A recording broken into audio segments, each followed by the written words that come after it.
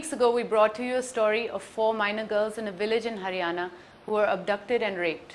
Fearing for their lives, they fled from their village and are now living in the streets of the capital, waiting for their justice. We are keeping a close eye on this story. Runjun Sharma is here with the follow up report.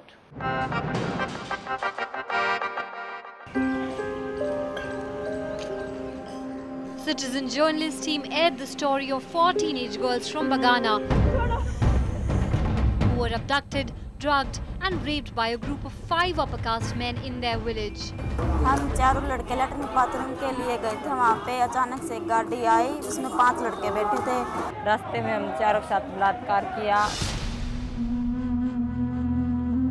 Threatened and fearing their lives, the girls and their families fled the village and have been living on the streets of the national capital. हमारी लड़की भी ऐसे बोल रही है हमें हनी यहाँ मर जाएँगे जंतर मंतर पर फिर गाँव में नहीं जाएँगे केजरीवाल जी आपके बीच में पहुँच गए हैं Almost a week after their story aired on CNN IBN, it finally got some political attention.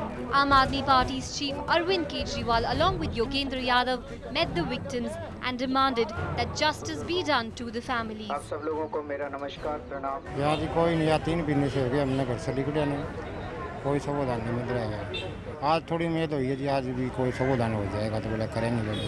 हम मांग करते हैं कि तुरंत जो इस पूरे गैंग रेप में शामिल हैं लोग, उनको तुरंत बिना किसी देर के गिरफ़्तार किया जाए। इसमें एक सरपंच का नाम आ रहा है, जो कि ज़्यादा प्रभावशाली है और जो सीधे सीधे कहा गया है कि उनको गिरफ़्तार नहीं करेंगे, उनको तुरंत गिरफ़्तार किया जाए। और दूसरा, इस मामले को सीबीआई को सौंपा जाए।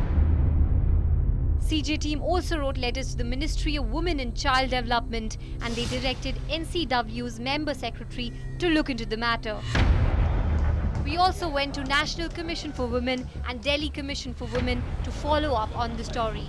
पुलिस प्रोटेक्शन मिलना इनको बहुत ज़्यादा ज़रूरी है और जहाँ तक रिहैबिलिटेट करने का सवाल है तो जो डीएम है उसको हम लिखेंगे कि इन लड़कियों को रिहैबिलिटेट भी किया जाए और पुलिस प्रोटेक्शन भी दिया जाए The CJ team will continue to track the story till the time the victims get justice.